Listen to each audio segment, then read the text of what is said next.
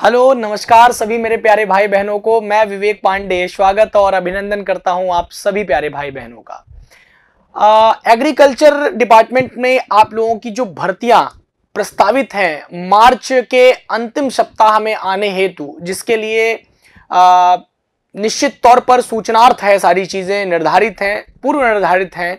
उसके सिलेबस को लेकर के बड़ी भ्रांतियाँ विद्यार्थियों में है। तो जो एग्रीकल्चर सहायक के पदों पर जो रिक्तियाँ हैं, जिस पर आप लोग भर्ती के लिए तैयार हैं, जिस पर आप तैयारी कर रहे हैं, अपनी पूरी ताकत झोंक रहे हैं, इसमें आप लोगों को सिलेबस को लेकर के जो दुविधा है डिटेल सिलेबस मैं आपको बताने जा रहा हूँ। 2018 में जो इसकी परीक्षा हुई थी, उसमें और उसके सिलेबस से लेकर के वर्तमान 2023 में होने वाली परीक्षा के सिलेबस में कितना अंतर आ सकता है, इसकी चर्चा करेंगे। देखिए, जो आपका प्रस्तावित रिज़ल्ट है अगर प्रस्तावित जो आपका सिलेबस है, योजना है, उसमें अगर अधीनस्थ कृषि सेवा वर्ग तीन, यानी कि ग्रुप सी की एक नौकरी होती है, इसके अंतर्गत आप देखेंगे तो इसका जो सिलेबस दिखाया जाता है, इसमें चार चीज़ें, सामान्य बुद्धि परीक्षण, सामान्य ज्ञान, सामान्य विज्ञान और अंक गणित। ध्यान से सुनिएगा, इसी इसी में सब कुछ समाहित है। मतलब कि आपको विज्ञान और गणित दोनों पढ़ना है और गणित में भी पूरी गणित नहीं पढ़ना।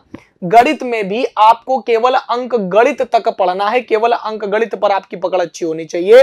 केवल एरिथमेटिक आपको पढ़ना है और सामान्य हिंदी आपसे पूछा जाएगा। प्रत्येक में प्रश्नों की संख्या 50 बताई जा रही है और कुल 200 प्रश्न 2018 का है। ये सिलेबस जो मैं आपसे डिस्कस कर रहा हूँ, इसमें पूछा गया है। और प्रत्येक में 100-100 अंक निर्धारित किए गए थे। ध्यान रखिएगा प्रत्येक में सौ सौ अंक निर्धारित किए गए थे तो कुल चार विषय हैं तो चार सौ अंकों की परीक्षा हो गई। और आपको बता दूँ कि यहाँ पर दो घंटे की आपकी परीक्षा हुई थी, और दो घंटे में 200 प्रश्न करना मतलब आप समझ रहे हैं कि अगर समय निर्धारण की बात करें तो कुल 120 मिनट में आपको 200 प्रश्न करने हैं। ध्यान से सुनिए इस इस बात को। यहीं से आपको बहुत सारे प्रश्नों के उत्तर मिल जाएँगे। बिना मतलब का इधर उधर दौड़ने की ज़रूरत ही नहीं पड़ेगी। आप सुनिए, समझिए तो ध्यान से। कह क्या रहे हैं कि 200 प्रश्न है गुरु, और 200 प्रश्नों की यदि बात करें, और 120 मिनट है दोस्त आपके पास, गौर से सुनिएगा। 120 मिनट है 200 प्रश्न है।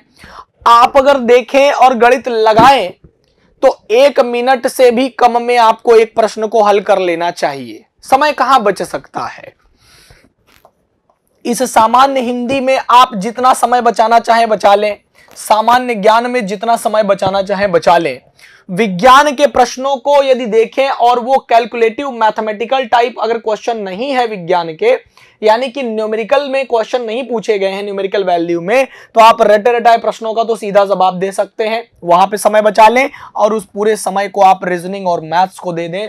क्योंकि एक स्कोरिंग टॉपिक होता है अगर बच्चे का गणित अच्छा है मैथमेटिक्स वीक नहीं है और बच्चा रीजनिंग पर अच्छी पकड़ बना के गया है तो परीक्षा ज़रूर निकाल लेता है। ऐसा हमने अपने अनुभव में देखा है। लगातार निरंतर शिक्षण में हमने इस चीज़ को महसूस किया है।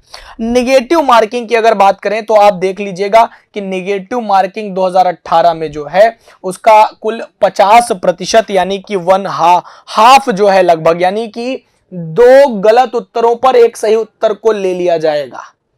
आप सही सही करते चले जा रहे हैं। आपने दो तुक्के मार दिए तो एक सही वाला भी चला गया। यानी एक सही पर दो गलत आपका लैप्स होता था, सीधे तीन चले जाते थे एक साथ। लेकिन एक योजना यहीं से मैं बता दूँ कि 2018 में ऐसा था। 2023 में क्या हो सकता है कि 2023 पर जब हम बात करेंगे तो 2023 में क्या परिवर्तन आ रहा है गुरु? तो देखिए परिवर्तन को समझिए जरा सा। जब 2018 से 2023 को कंपेयर करते हैं तो यहाँ पर जो निगेटिव मार्किंग है, वो वन फोर्थ निगेटिव मार्किंग होगी। वो वन फोर्थ निगेटिव मार्किंग की जाएगी, इससे ज़्यादा निगेटिव मार्किंग नहीं होगी। यानी चार तुक्के पर, चार गलतियों पर, तुक्के पर ना कहिए कभी कभी तुक्के सही भी निकलते हैं। तो चार गलतियों पर एक सही आपका काट लिया जाएगा। ये परिवर्तन एक समझ में आया? और देखते चलो गुरु, सब समझा देंगे आज के क्लास में तुम्हें हम। देखो, अब सामान्य बुद्धि परीक्षण में गुरु पढ़ना क्या क्या है? ये समझ लीजिए मतलब पाठ्यक्रम में क्या क्या पढ़ें सामान्य बुद्धि परीक्षण में?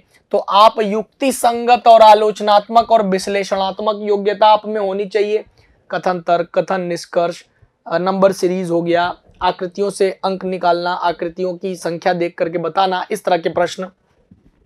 मानसिक योग्यता पर प्रश्न। ऐसे प्रश्न जिसमें अभ्यर्थी के परिणाम परक अभिक्षमता की परख हो सके, ऐसे प्रश्न आपके परीक्षा में पूछेंगे। सांख्यिकीय विश्लेषण, यानी कि ग्राफ और डायग्राम संबंधी प्रश्न।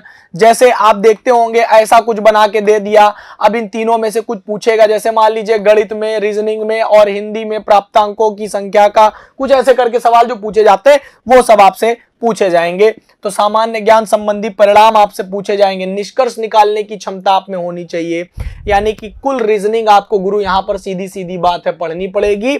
और आदरणीय रवि सर की रीजनिंग की क्लास जिंदाबाद है। उसको पढ़ने के बाद ना कोई क्लास देखने की ज़रूरत, ना कुछ करने की ज़रूरत। गुरु, खाली जाके प्रैक्टिस कर ले, सब काम हो जाएगा। तुम्हारा इतना जान लो। बस क्लास देखा, प्रैक्टिस किया और परीक्षा के प्रश्न पत्रों को लगाया। यूपी ट्रिपल एस के पुराने सारे प्रश्न पत्र लगा डाले। सिलेक्शन कोई रोक नहीं सकता। हंड्रेड आपका काम हो जाएगा, लेकिन इतना करना पड़ेगा। सुनने में कितना अच्छा लग रहा होगा, लेकिन जब इसको करेंगे, तभी इसका फ़ायदा होगा। अन्यथा फ़ायदा नहीं होगा। अब गुरु आ जाओ दूसरे वाले पे। दूसरा वाला कहता है कि सामान्य ज्ञान में क्या क्या पढ़े? तो सामान्य ज्ञान अपने में ही कहने के लिए ही सामान्य है। वास्तव में तो ये पूर्ण रूपेण असामान्य है। कहने के लिए ये सामान्य ज्ञान है। क्या क्या पढ़े? कंप्यूटर ज्ञान आपको पढ़ना है। कंप्यूटर का परिचय होना चाहिए। हार्डवेयर और सॉफ्टवेयर के बारे में पढ़ लीजिए। कंप्यूटर नेटवर्किंग और ईमेल के बारे में ठीक ठाक जानकारी होनी चाहिए। उत्तर प्रदेश पर आधारित विशिष्ट प्रश्न शिक्षा यानी कि यूपी स्पेशल भी आपको पढ़ के जाना पड़ेगा। अच्छी जानकारी होनी चाहिए। मौसम, मिट्टी इन सब के बारे में अच्छी जानकारी होनी चाहिए। फ़सलों के बारे में अच्छी जानकारी होनी चाहिए। रबी, खरीफ, ये सब सारी फ़सलों के बारे में अच्छी जानकारी होनी चाहिए। संस्कृति के विषय में, कृषि के विषय में, जनसंख्या के विषय में, व्यापार और वाणिज्य के क्षेत्र में, उद्योग के क्षेत्र में, सामाजिक प्रथाओं के क्षेत्र में ललित कला के क्षेत्र में, लोक कला के क्षेत्र में गायन, संगीत, नाटक, इन विधायों का आपको ठीक ठाक जानकारी होना चाहिए, क्योंकि यहाँ से आपके प्रश्न पूछेंगे। एजीटीए में गुरु, आपको मैंने एक वीडियो बनाया हुआ है और बहुत शानदार तरीके से समझाया है कि आपका कार्यभार क्या होगा, आयु क्या होगी, योग्यता क्या होगी। मतलब ज़बरदस्त पद होता है। दोस्त, आप आराम से अपने परिवार के लिए भी समय दे सकते हैं। स्वयं और आगे पढ़ के कोई और बड़ी परीक्षा निकालना चाहते हैं, उसके लिए भी समय दे सकते हैं।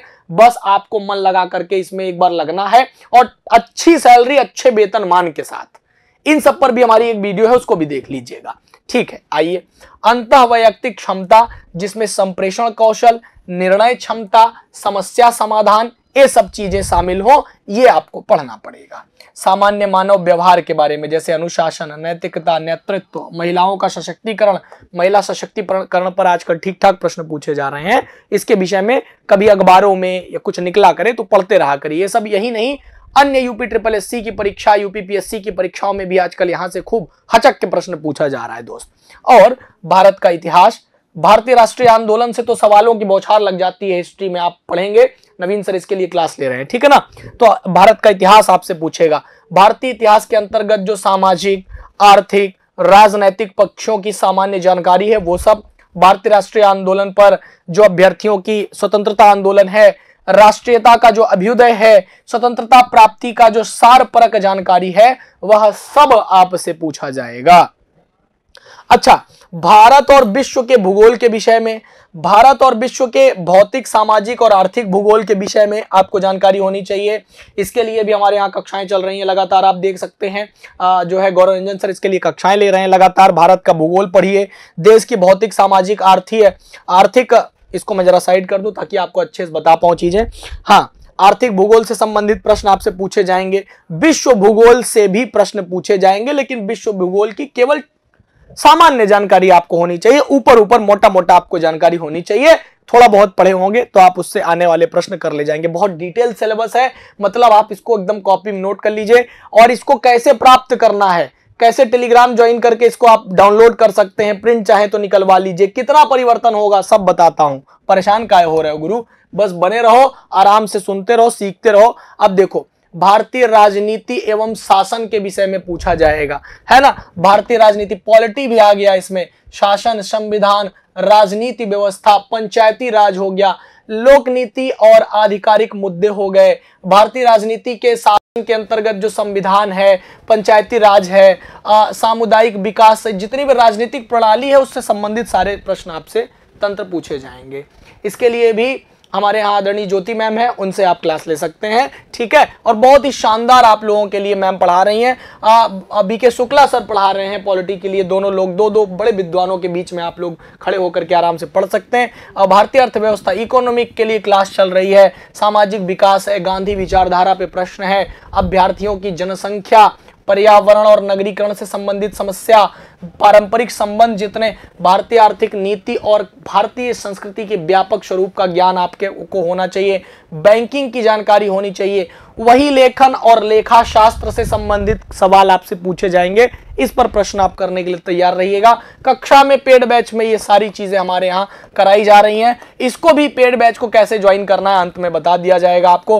राष्ट्रीय और अंतर्राष्ट्रीय महत्व की सामायिक घटनाएँ, इसमें खेल कूद के प्रश्न सम्मिलित होंगे। मतलब कि करंट से संबंधित इकोनॉमिक आपसे पूछी जाएगी। देखिए करंट को बिल्कुल नहीं छोड़ना है। आदरणीय रवि सर इसके लिए लगातार कक्षाएँ लेते रहते हैं बीच बीच में। तो तीन महीने का करंट हम महीने महीने भर का करंट जो सर लेते हैं। एग्ज़ाम के पहले आपको कंप्लीट ईयरली करंट सिक्स महीने का करंट, यानी छह माह का करंट जो कराया जाता है। और इतिहास रहा है, आप देखिए टारगेट ऑन का लगातार। या पूरा विश्वास विद्यार्थी जो करते हैं, जो आप लोगों का विश्वास, आप लोगों का प्रेम है, उसके पीछे का केवल और केवल एक कारण है, शिक्षकों के एकदम दक्ष होने की परंपरा। टारगेट ऑन में आपको दक्ष शिक्षकों की सहायता मिलती है और प्रशिक्षित और दक्ष शिक्षकों के साथ जुड़ करके आप स्वयं को प्रशिक्षित करते हैं और आपका ये प्रशिक्षण आपको चयन दिलाता है। बस इतनी सी बात है और कोई बात नहीं, इसीलिए आप बेहतर पाते हैं हमारे यहाँ। चलिए तो भारतीय कृषि, भारत की देखो भैया, जब एग्ज़ाम एग्रीकल्चर का है तो कृषि से तो खूब हचक के सवाल पूछेगा, अब बहुतेरा सवाल पूछेगा। अच्छी जानकारी कृषि की होनी चाहिए और यही तो आपका फ़ील्ड भी है। इसी बीएससी एग्रीकल्चर किए होगे बीएससी हॉर्टिकल्चर किए होगे फिशरीज किए होगे, या फिर बीटेक एग्रीकल्चर किया होगा, अपने होम साइंस से पढ़े होंगे, यही सब पढ़ के आए होंगे। उसमें आप जो पढ़े हैं, वो परीक्षा में आएगा, और उसमें तो आप लोग पहले से महान हैं, विद्वान हैं, और हालाँकि हमारी बैचेज में भी ये चीज़ें बहुत डिटेल में पढ़ाई जा रही हैं। कृषि उत्पाद और उसके विपणन के संबंध में जानकारी की अपेक्षा आपसे की जाती है। साथ ही साथ अगर और आगे बढ़ूँगा तो अगले तथ्य पर चलता हूँ कि आपसे सामान्य विज्ञान और अंक गणित में कैसे कैसे प्रश्न पूछे जाएँगे। तो विज्ञान में देखिए जीव विज्ञान रसायन विज्ञान, भौतिक विज्ञान। यानी बायो भी पूछेंगे, केमिस्ट्री भी पूछेंगे ग्रुप फिजिक्स भी पूछेंगे। और तीनों से सवाल आएगा, तीनों पढ़ना है। सिलेबस अच्छा खासा है। अगर सोचोगे कि खुद से कलाकारी कर ले जाए तो थोड़ा कठिन है। हाँ इधर उधर के चक्कर में पढ़ के समय नष्ट करोगे, अत्यंत कठिन है। यदि आप मेहनत करने वाले विद्यार्थी हैं, सचमुच सफल होना चाहते हैं तो आपकी सफलता हमारी ज़िम्मेदारी है। हम मेहनत कर रहे आपके साथ, आप मेहनत करिए हमारे साथ। आइए देखिए, इनसे जो दैनिक अनुभव और प्रेक्षण से संबंधित विषयों के साथ जो विज्ञान के सामान्य परोबोध और जानकारी पर आधारित प्रश्न होंगे, उनकी ऐसी किसी भी सुशिक्षित व्यक्ति से अपेक्षा की जा सकती है, जिनसे वैज्ञानिक विषयों का विशेष अध्ययन नहीं किया हो और भारत के विकास में विज्ञान और प्रौद्योगिकी की भूमिका, संतुलित आहार, calorie distribution, protein, vitamin, diarrhoea, vitamin की कमी से होने वाली बीमारी हाँ एनीमिया विभिन्न बीमारियों से भोज्य पदार्थ का जो महत्व है, टीकाकरण का जो महत्व है, जो जल चक्र है, जो जल स्रोत के प्रकार हैं, पेयजल है, गुणवत्ता कैसी है है ना? कितना होना चाहिए, मानक कितना होना चाहिए, स्वच्छ जल किसको कह सकते हैं? इसका जो मानक है एक्यूप्रेशर है ना? एक्यूफर और इलेक्ट्रोमैग्नेटिक रेजी रेजिस्टिविटी सर्वेक्षण आदि से संबंधित प्रश्न पूछे जाएँगे और इन सबको बारी बारी से आपको पढ़ना चाहिए। सेल्फ स्टडी कर रहे हैं तो भी इन छोटे छोटे पॉइंट्स को गूगल करके, उसकी अनैतिक जानकारियों को दरकिनार करके, पुस्तक की सहायता लेकर के, हमारी यूट्यूब की कक्षाओं की सहायता लेकर के, हमारे अन्य पेड बैचेस की सहायता लेकर के, हमारे कोर्सेज के अंतर्गत जो मटेरियल्स आपको दिए जाते हैं टेलीग्राम पर, उसकी सहायता लेकर के प्रश्न पत्रों की एक बृहद श्रृंखला आपको दी जाती है, उसकी सहायता लेकर के आप इसका लाभ उठा सकते हैं। साथ ही जो प्रारंभिक गणित में हाई स्कूल स्तर के प्रश्न हैं वहाँ से आपको जानकारी ली जाती कहने को तो एक हाई स्कूल स्तर लिखा है, परंतु प्रश्नों का स्तर ठीक ठाक होता है। ठीक स्तर पर प्रश्न बनते हैं। इसमें अंक गणित, बीज गणित, रेखा गणित, इन सबसे प्रश्न होंगे। देखिए, जब डिटेल में आते हैं ना तो सब दे देता है। अब वहाँ क्या लिखा था? केवल विज्ञान और अंक गणित का अध्ययन करना है। और इधर आइए तो बीज गणित भी कह दिया है और रेखा गणित भी कह दिया है। जब आप 2023 का पेपर दे रहे होंगे तो कंप्लीट मैथ्स पढ़ के जाना पड़ेगा। जब ए जी टी ए कंप्लीट आप पढ़ के सिलेक्शन लेने के लिए अगर आप निकले हैं ना तो 2023 का जो मैथमेटिक्स है वो ठीक स्तर का होगा। विज्ञान स्तरीय होगा। ठीक है? इसके आधार पर पढ़ना पड़ेगा। अब आइए मैं अपने टॉपिक पर आता हूँ। अब मैं आपको बता दूँ कि हिंदी में क्या क्या पूछा जाएगा। हिंदी का सिलेबस आपका कितना बड़ा है और इसको आप कैसे पढ़ेंगे, कैसे तैयार करेंगे, किन पुस्तकों का सहारा लेंगे सामान्य हिंदी के लिए, जिससे आपका निश्चित ही भला हो, आप निश्चित ही कुछ अच्छा करें। तो देखिए, इसमें अपठित गद्यांश आपसे पूछा जाएगा, संक्षेपण पूछा जाएगा उसका।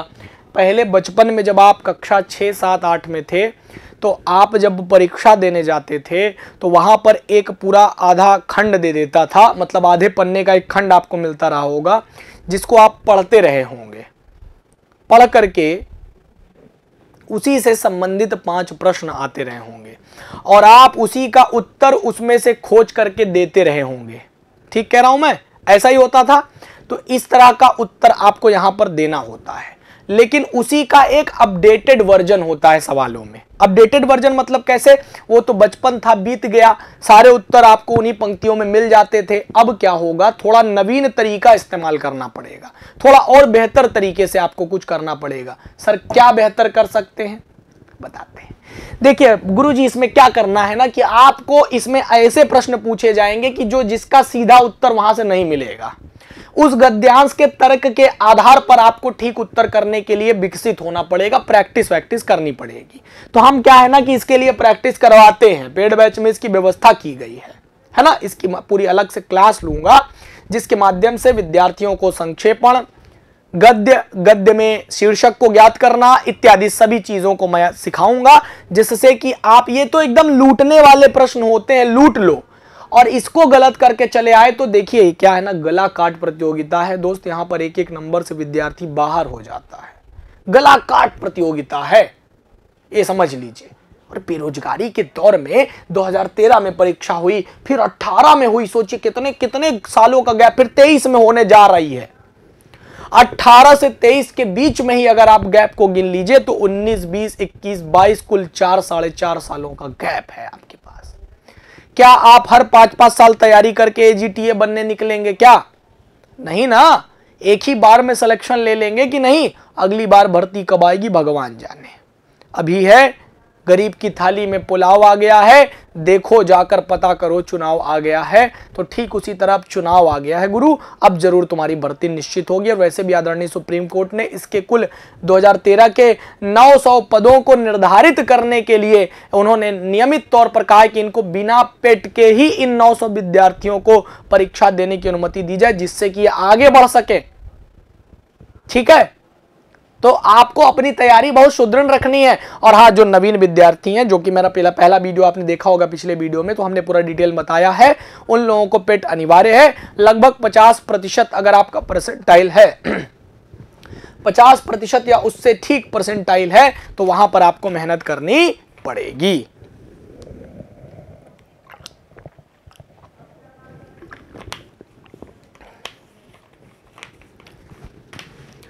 अब आगे देखिए। साथ ही शासकीय, अर्धशासकीय, वैयक्तिक और व्यवसायिक समस्याओं के निराकरण से संबंधित संबोधित पत्र, कार्यालय आदेश, अधिसूचना और परिपत्र संबंधी पत्र आपको लिखने होंगे। यानी आना चाहिए। प्रश्न पूछ लिया जाएगा। जैसे आपसे पूछ लिया जाएगा कि आपके इलाके में सरकारी लाइब्रेरी खुलवाने हेतु आप किसको पत्र लिखेंगे और कैसे संबोधित करेंगे उसको? उसमें अपना नाम कैसे लिखेंगे? दिनांक किस स्थान पर रखेंगे? इत्यादि बहुतेरी तरीके के प्रश्न यहाँ पर पूछे जाएँगे। फिर हम लोग वर्णों के विषय में, ध्वनि विचारों के विषय में, उच्चारण के विषय में, लेखन, स्वर, व्यंजन, मात्रा पहचान और प्रयोग के विषय में और ध्वनियों का वर्गीकरण इत्यादि आपको आना चाहिए। इससे संबंधित ठीक प्रश्न आपसे पूछा जाएगा। यानी वर्ण और ध्वनि विचार के बारे में, उच्चारण के बारे में, लेखन, स्वर, व्यंजन, ये सब कक्षा में मैंने पढ़ाया है। यूट्यूब पर ही पढ़ाया है। आप जाकर के डेमो देख लीजिए, ले लीजिए, आपको चीज़ें समझ में आ जाएँगी। हम लोग शब्द रचना पढ़ेंगे, जिसमें संधि संधि विक्षेद समास, उपसर्ग प्रत्यय इन सब का अध्ययन करेंगे। यहाँ से बहुत सारे संधि वगैरह तो इस तरह करा देंगे कि दोस्त, आपको कभी दोबारा पढ़ने की ज़रूरत नहीं पड़ेगी। यकीन मानिए, अगर कभी दोबारा पढ़ने की ज़रूरत पड़ जाए तो बता दीजिएगा। इस तरह से आप पढ़ेंगे ना, आप पेड बैच के विद्यार्थियों से पूछ लीजिए। इस तरह से पूरी की पूरी संधि पढ़ाई जाएगी। दोस्त, पूरी की पूरी कक्षाएँ पढ़ाई जाएँगी। आपको जीवन में कभी दोबारा इस तरह की कक्षाएँ देखने की ज़रूरत नहीं पड़ेगी। शब्द प्रकारों को देखेंगे, तत्सम, अर्ध तत्सम।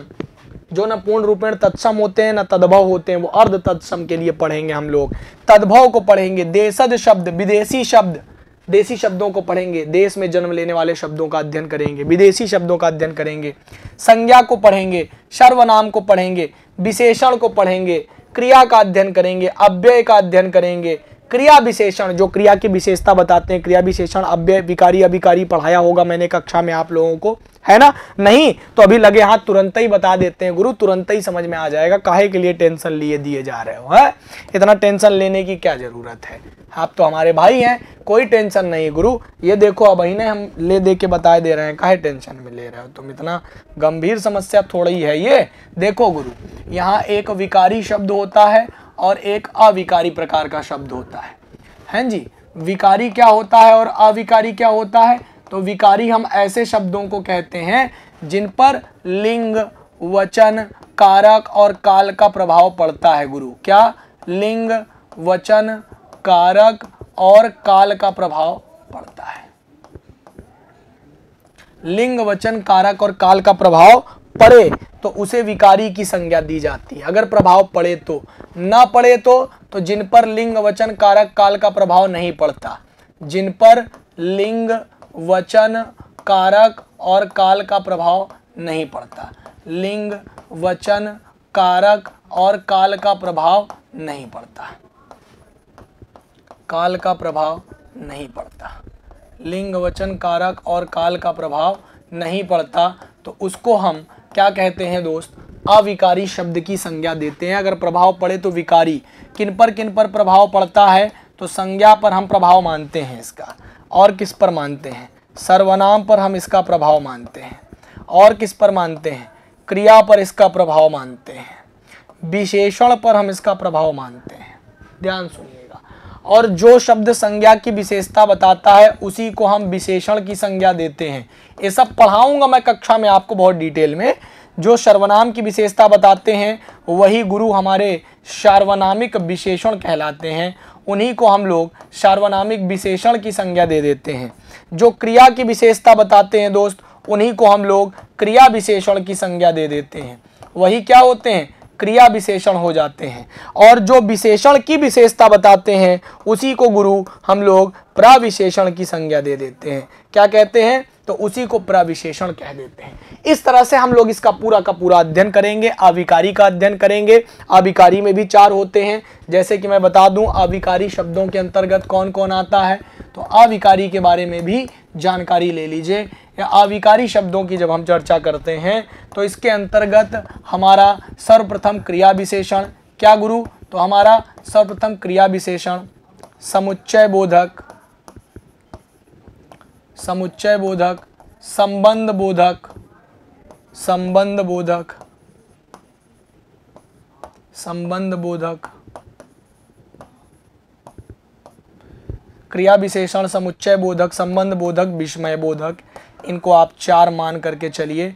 ये आपका विस्मय बोधक है। ये आपके चार के चारों क्या है, प्यारे विद्यार्थियों?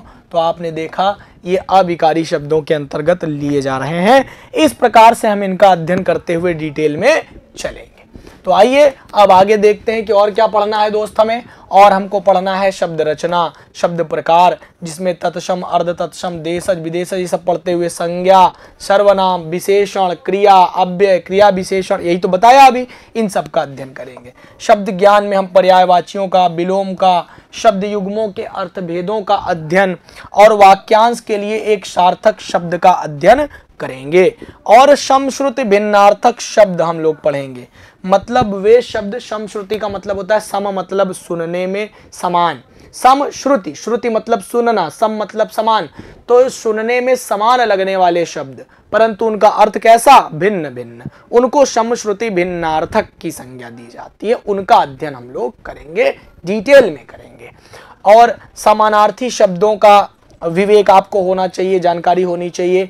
उपयुक्त शब्द चयन, यानी कि संबंधवाची शब्दावली, शब्द शुद्धि, यानी कि कुछ अशुद्ध लिख देगा, जैसे कहेगा कि बताइए, उज्जवल, कौन सा शुद्ध लिखा हुआ है? ऐसे दे देगा, आपसे पूछ लेगा कि कैसा उज्जवल शुद्ध लिखा हुआ है।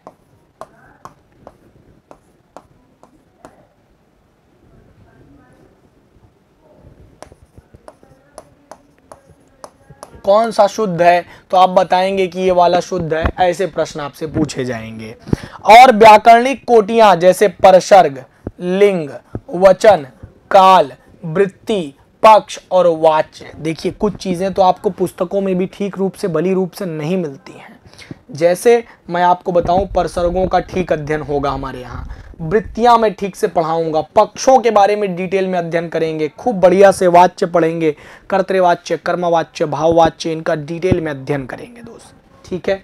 साथ ही साथ हम वाक्य रचना पढ़ेंगे, जिसमें सरल वाक्य, संयुक्त वाक्य, मिश्र वाक्य, इन सब का डिटेल में अध्ययन करेंगे, कि सरल वाक्य क्या होता है, संयुक्त वाक्य क्या होता है और मिश्र वाक्य क्या होता है, ठीक है ना?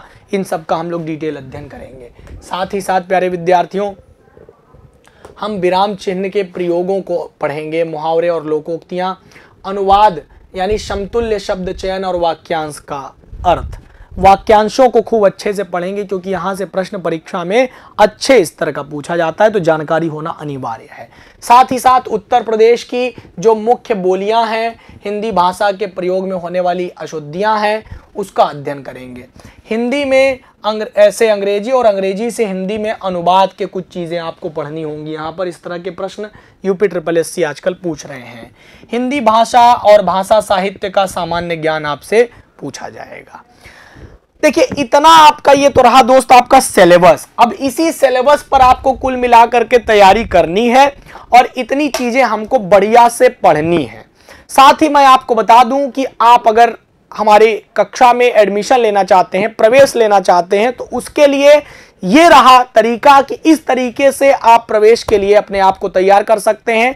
यहाँ पर आप ए जी टी एंट्री लिख करके भेज दीजिए, हमारे काउंसलर से बात कर लीजिए और अपना एडमिशन सुनिश्चित करा करके पेड बैचेस में इंजॉय करिए, आनंद करिए, मन लगा के पढ़िए। नब्बे दिन में हम आपको इतना तैयार कर देंगे कि आपको कहीं कुछ सोचने की ज़रूरत नहीं पड़ेगी और गारंटी सिलेक्शन आपको हमारे बैच में मिलेगा। जय हिंद, जय हिंदी, खुश रहिए, मस्त रहिए, पढ़ते रहिए, अपना और अपनों का बहुत ख्याल रखिए। कॉमेंट करके बताइएगा, आपका सवाल जो भी होगा, हम उसको जवाब देने के लिए तैयार हैं। हम ज़रूर रिप्लाई करेंगे। जय हिंद।